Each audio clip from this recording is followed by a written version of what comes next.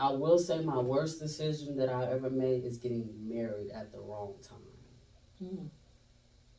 I, I should have waited because it was a waste of time and I was only married for three years and it was based on all wrong things.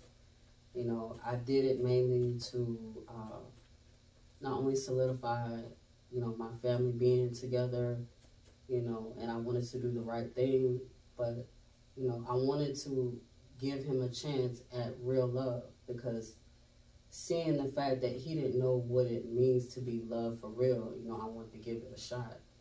But it was just a waste of time, a waste of space. It was just nothing but pure heartache. And define love for real, like real love. Define what real love is. Honestly, loving yourself first. Because right now I don't know what love is when it comes to other people.